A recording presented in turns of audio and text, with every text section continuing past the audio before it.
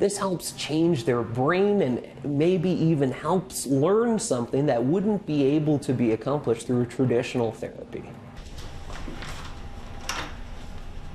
Imagine walking into your next therapy session and you are given this a virtual reality headset to help you with your treatment. Believed to be the first private psychology practice to do so in Canada, Joel is using VR to help treat his patients with mental health issues such as depression and anxiety. We often call an anxiety disorder the idea that a fire alarm's going off inside of someone with no fire. And so what we uh, would use this program for is it to encourage people to actually engage with these red bad guys even slower.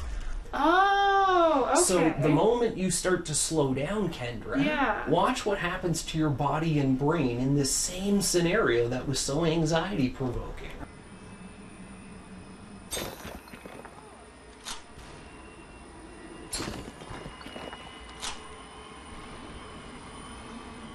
Should be able Joel to have a encourages people to try it out before making any conclusions. Oftentimes, we encourage people to uh, hold any kind of judgment until they've had a bit of an experience. It's one of those things, even like some traditional forms of therapy, that you actually have to experience and go through to appreciate some of the benefits.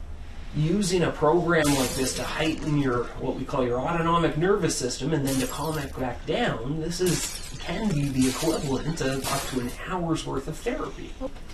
My heart is beating very fast after that simulation. Joel thinks this could be the future of therapy, blurring the lines of reality to help give people's brains a different perspective and make their lives a little easier. In Calgary, Kendra Fowler, City News.